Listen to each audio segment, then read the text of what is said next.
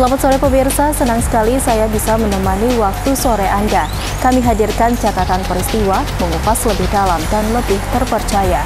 Bersama saya Hamida Rizky, berikut catatan redaksi. Siapa Brigadir J?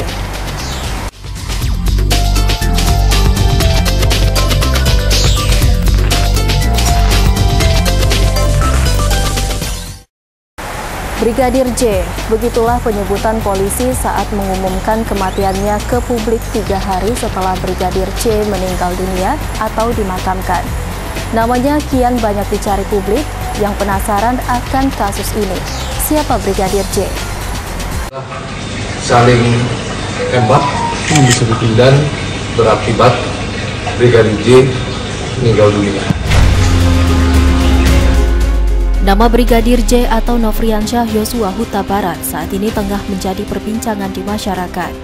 Setelah nama Brigadir J diumumkan polisi meninggal karena tewas dalam baku tembak sesama anggota Polri di rumah Kadif Propam Irjen Pol Verdi Sambo pada 8 Juli 2022 lalu. Publik kian dibuat penasaran siapa Brigadir J tersebut. Tewasnya Brigadir Yosua mengundang simpati dari masyarakat luas. Laki-laki yang lahir pada 29 November 1994 itu merupakan anak kedua dari pasangan Samuel Huta Barat dan Rosti Simanjuntak. Ia merupakan lulusan Sekolah Polisi Negara Polda Jambi tahun 2012. Karirnya di kepolisian diawali dengan penempatan di Batalion B Satbrimo Polda Jambi di Kabupaten Merangin dan kemudian di Mako Brimob Polda Jambi hingga pada tahun 2020 lulus seleksi ajudan di Mabes Polri. Ia kemudian menjadi ajudan Verdi Sambo yang saat itu masih menjabat Dirtipidum Mabes Polri hingga berlanjut pada saat Verdi Sambo mendapat pangkat Inspektur Jenderal dengan mengemban jabatan Kepala Divisi Profesi dan Pengamanan Polri.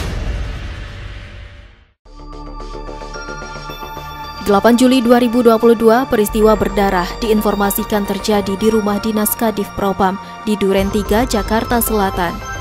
Polisi menyatakan ada peristiwa baku tembak yang terjadi antara Barada E dan Brigadir Yosua yang dipicu dari dugaan tindakan pelecehan seksual Brigadir Yosua.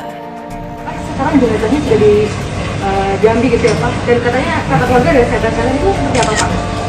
Uh, kita belum lihat, tetapi penjelasan dari penyidik bahwa yang dibilang sayatan itu adalah karena e, gesekan proyektil yang ditembakkan oleh para kecil. Sabtu 9 Juli 2022, jenazah Brigadir Yosua diantar ke Jambi. Ayah dan ibunya yang saat itu tengah berada di Sumatera Utara masih dalam perjalanan menuju Jambi Hingga Sabtu malam itu orang tuanya tiba di Sungai Bahar Muara Jambi dan melihat anaknya sudah terbaring di peti jenazah.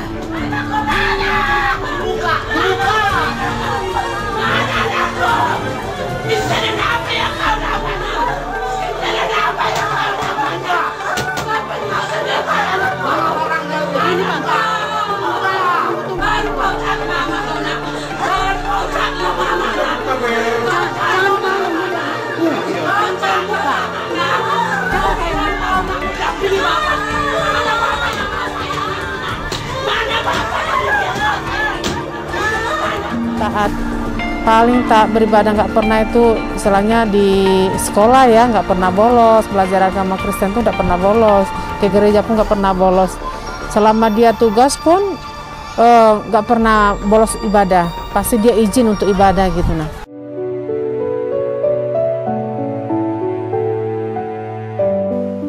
Kepergian Brigadir Nofriansyah Yosua Huta Barat juga meninggalkan kesedihan mendalam bagi Vera yang merupakan kekasihnya. Dirinya tidak menyangka hal ini akan terjadi. Bahkan menurutnya, sang kekasih merupakan orang yang baik dan sangat penyayang.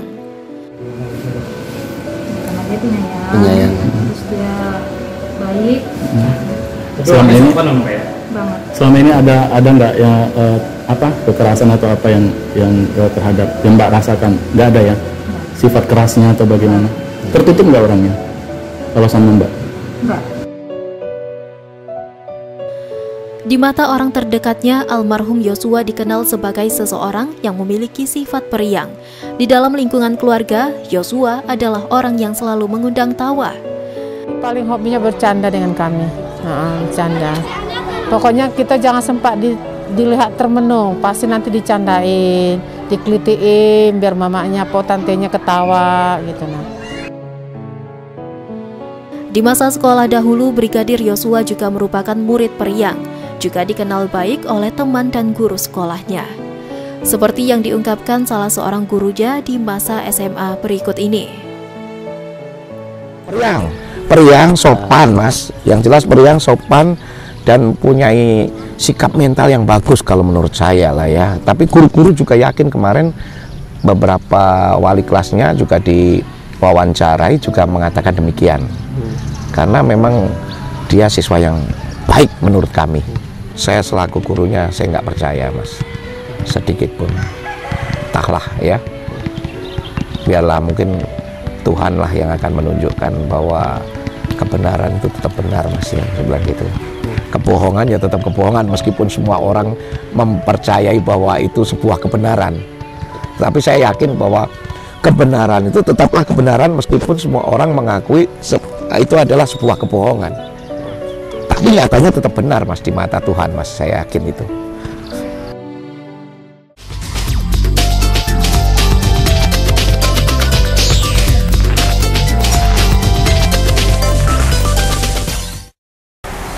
Brigadir J atau Yosua merupakan sosok yang gigih dan religius.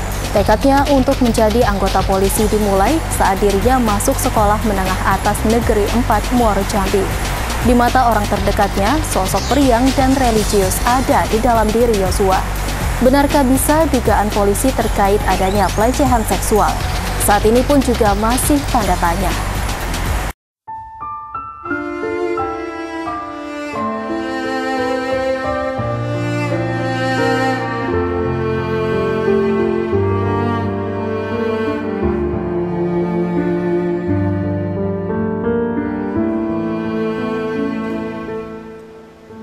Sejak kecil, Yosua memang bercita-cita menjadi polisi. Cita-cita itu juga tidak luput dari kegigihan orang tua yang ditanamkan ke dalam diri Yosua. Istilahnya orang sederhana, memang dia dari dari kecilnya dia sudah bercita-cita uh, menjadi seorang angkatan ya, karena kakek dia dari bapaknya dulu memang seorang militer ya, SPM dia dulu, bapak uh, apa CPM ya, CPM ya, dulu di kampung cuman meninggal dalam tugas juga. Jadi memang kegiatan dia untuk belajar, latihan, dia sendiri, bukan dipaksa orang tuanya. Bukan. Di sekolah, kegigihannya juga dirasakan oleh para guru-guru sekolahnya. Sejak kelas 10 SMA, dirinya sudah menjadi siswa pilihan dan melanjutkan ke jurusan IPA. Bahkan diakui gurunya, nilai ujian nasional pria yang lulus pada tahun 2012 itu termasuk tertinggi di antara angkatannya saat itu. Menurut saya orang tuanya yang orang tua yang aktif kalau menurut saya karena dia selalu progres melakukan uh, apa pengecekan terhadap kondisi anaknya di sekolah menanyakan Pak Bambang di mana anak saya karena besok ini kayak gini kayak gini kayak gini. Misalnya mau masuk ini Pak Bambang mohon diperhatikan anak kita. Siap Bu? Saya perhatikan semuanya kalau anak-anak. Ini bisa kita tunjukkan ini Mas. Uh, untuk nilai ini ujian nasional. Ya tahun 2011 2012 pada saat itu ujian nasional ini kalau nilainya di bawah 5,5 maka anak dinyatakan tidak lulus. Saat itu Pak saat itu. Dan alhamdulillah uh, anak saya Joshua ini Nopriansah ini ini nilainya masih di atas rata-rata. Berarti saat itu termasuk nilai yang paling tinggi Pak? Nilai, di sekolah. nilai tinggi di sekolah ini Mas. Ah itu termasuk kategori nilai tinggi. Makanya ketika dia tes Polri itu nilai itu tidak ada masalah sama sekali kurasa Bambang saat itu masih biasa saja mendengar kabar ada kasus polisi tembak ini. Namun saat disebutkan asal dari Jambi, lebih tepatnya Sungai Bahar, dan mencari tahu lebih dalam informasi tersebut, dirinya terkejut bahkan yang meninggal itu adalah anak didik kesayangannya dahulu. Di bangku SMA, Yosua aktif di bidang paskibraka dan sejumlah ekstrakurikuler olahraga. Maka fisik pria yang akrab dipanggil Nofri saat sekolah itu tidak perlu diragukan lagi. Yang sopan mas, yang jelas beriang sopan dan punya sikap mental yang bagus kalau menurut saya lah ya. Tapi guru-guru juga yakin kemarin beberapa wali kelasnya juga diwawancarai juga mengatakan demikian. Di media mas, di media. Artis ketika sudah viral itu pak. Iya, saya bahkan pada saat itu sempat sempat uh, apa ya sempat sempat bertanya-tanya, wah ada polisi tembak polisi, polisi. Ah pikir aku biasalah polisi tembak polisi, karena kasus sebelumnya kan banyak polisi Ya. tembak polisi, ah, bawaan tembak atasannya dan sebagainya. Nggak begitu saya pedulikan, ah, nggak begitu saya pedulikan. Tapi ketika menyebut ah, nama Sungai Bahar, ah, anggota dari Jambi Sungai Bahar, saya perhatikan siapa. Oh, berarti sudah beberapa hari dikabarkan beliau meninggal ya? Iya benar, baru tahu kami. Benar mas, ah itu.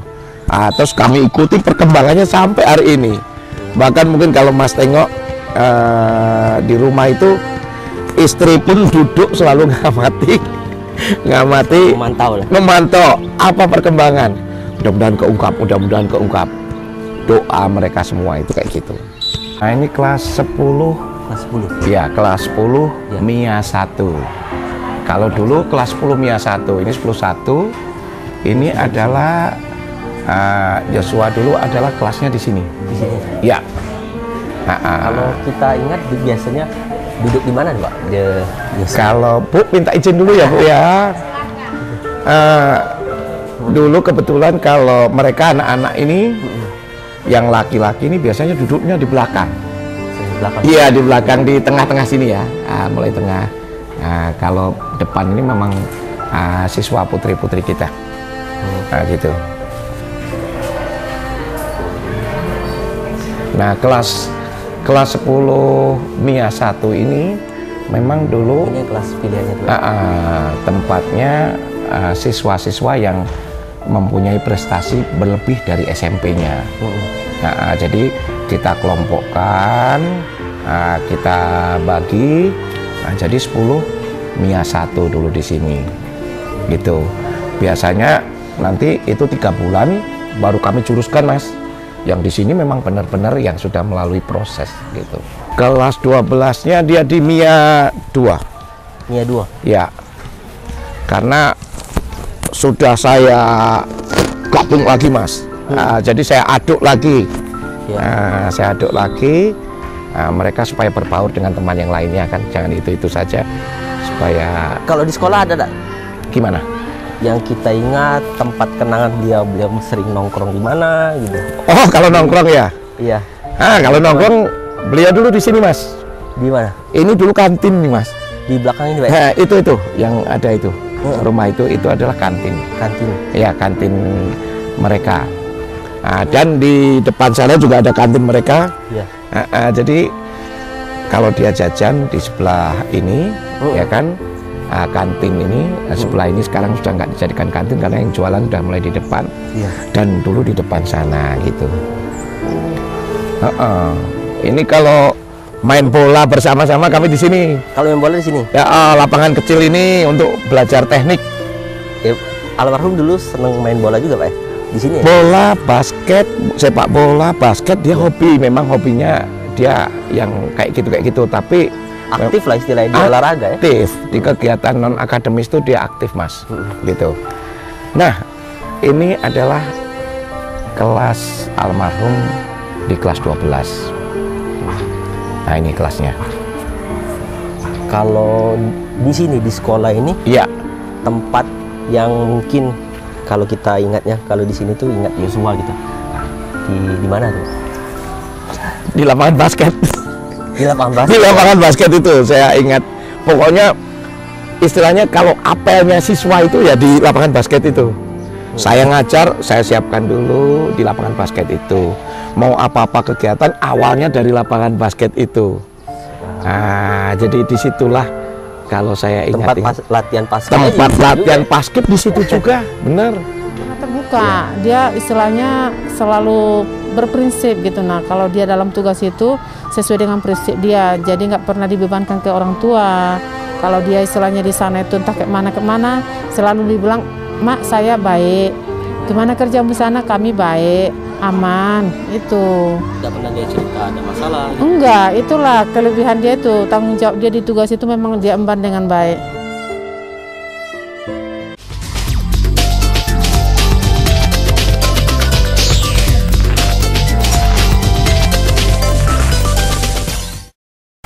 Sudah 22 hari kasus kematian Brigadir Yosua bergulir. Makam Brigadir Yosua akhirnya dibongkar kembali untuk membuka misteri tabir kematian Yosua. Proses ekshumasi menjadi salah satu cara agar menemui petunjuk kematian Yosua. Belum ada tersangka atas kasus ini. Desakan demi desakan dari publik, bahkan perintah presiden untuk membuka kasus ini dan jangan ada yang ditutupi. Publik berharap kasus ini segera terang benderang. Dan informasi ini menutup perjumpaan kita kali ini. Mewakili tim redaksi yang bertugas saya undur diri. Sampai jumpa, Cek TV, Inspirasi Kita.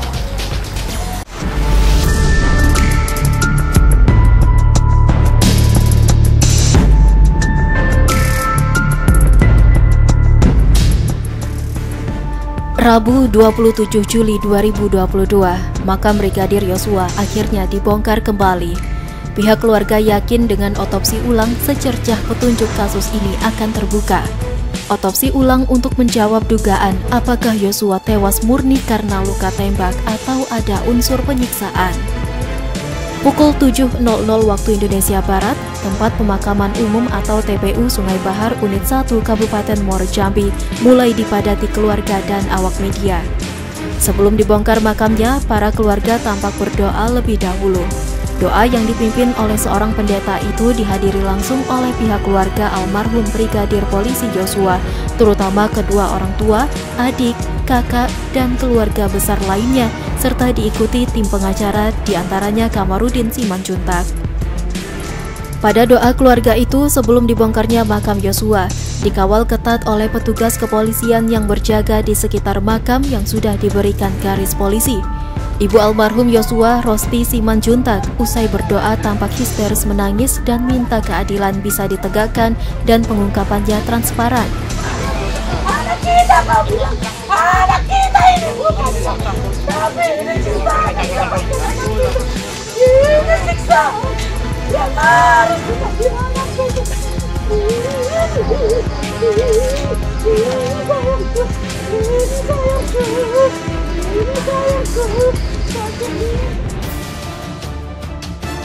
Pukul 9 pagi, jenazah almarhum Yosua tiba di Rumah Sakit Sungai Bahar. Lebih dari dua jam, tujuh dokter forensik mengautopsi tubuh Yosua yang perlahan sudah mengalami pembusukan. Pihak kepolisian memastikan kerja dokter forensik dilakukan secara independen dan imparsial agar kasus ini terang benderang. Tadi rekan-rekan media sudah melihat ke pelaksanaan bongkar kubur yang ada di pemakaman. Pada bongkar kubur, ekshumasi adalah dilaksanakan kegiatan otopsi ulang. Bahwa kegiatan ini sebagai bentuk komitmen dari Bapak dan sesuai dengan arahan Bapak Presiden agar kasus ini dibuka secara terang benderang.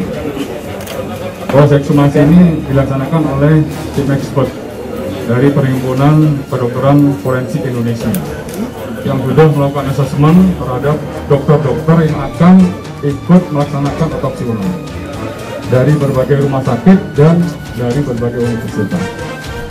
Tentunya untuk pelaksanaan ekshumasi ini dari Perhimpunan Kedokteran Forensik Indonesia, mereka memiliki sifat independen dan juga imparsial. Artinya apa? Artinya bahwa hasil otopsi ulang yang dilaksanakan pada hari ini ini memiliki dua konsekuensi. Konsekuensi pertama dari sisi keilmuan harus betul-betul sahih dan bisa dipertanggungjawabkan. Konsekuensi yang kedua karena ekshumasi ini adalah dalam rangka keadilan dilaksanakan oleh pihak yang berwenang dan oleh kedokteran forensik. Nah ini harus menjadi konsekuensi penyidik. Pihak berwenang siapa? Dalam hal ini penyidik. Ya penyidik akan sangat berkepentingan untuk meminta hasil dari hasil otopsi yang kedua ini sebagai tambahan alat bukti yang nanti akan dibuka dan diungkap di sidang pengadilan. Ketua Umum Perhimpunan Dokter Forensik Indonesia, Ade Firmansyah mengatakan, dokter mengaku memang menemukan beberapa luka di tubuh Yosua. Namun dokter belum dapat memastikan luka apa sebenarnya di tubuh Yosua tersebut. Maka dari itu dokter hanya mengambil sampel jaringan pada luka untuk diperiksa secara mikroskopik di Rumah Sakit Cipto Mangunkusumo agar mengetahui apakah luka tersebut setelah atau sebelum kematian. Hasil otopsi itu pun sangat dinanti-nanti keluarga bahkan masyarakat luas yang penasaran. Namun hasilnya baru dapat diumumkan setelah 4 hingga 8 minggu mendatang.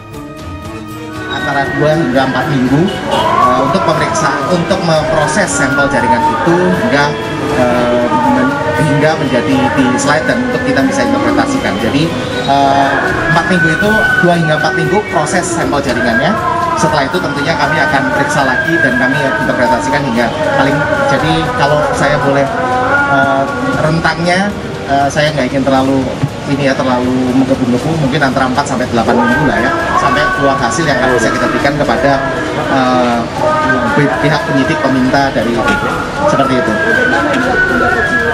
Ya jadi bagian uh, yang kita kami periksa terutama adalah tentunya pada luka. Yang kami yakin sebagai luka kami harus tahu itu luka apa dan apakah luka itu terjadi sebelum kematian atau setelah kematian. Uh, ke depannya ya uh, untuk kasus ini kami minta kepada Bapak Kapolri, Bapak Presiden Jokowi untuk kasus ini diusut dengan tuntas, transparan dengan sejujur-jujurnya. Itu yang harapan kami. Iya, transparan lah. Apa sebab apa penyebabnya gitu nah ah, jangan ditutup-tutupi lagi gitu nah Ses, ya sesuai dengan arahan Bapak Presiden Joko Widodo. Harapan saya kasus ini nanti bisa dibuka secara terang benderang, secara transparan, ya. Artinya memang benar-benar objektif, ya. Nah itu supaya paling tidak bisa memperbaiki citra keluarga, citra institusi, dan mungkin citra sekolah kita juga, juga di sini gitu loh. Karena mau tidak mau, ketika terjadi demikian akan ada uh, flashback ya mas ya, hmm. flash balik. Oh dulu sekolahnya di mana? Oh itu kayak gini. Tetapi kalau memang benar-benar dia berakhlak bagus, dia benar, ya mudah-mudahan kita juga ikut merasa senang lah gitu. Sekarang, terhitung hari ini, sudah 22 hari kasus ini bergulir. Maka publik bertanya kapan kasus ini selesai. Bak pepatah lama mengatakan sepandai-pandainya menyimpan bangkai, maka baunya akan tercium pula. Usut tuntas. Buka apa adanya. Jangan ada yang ditutup-tutupi.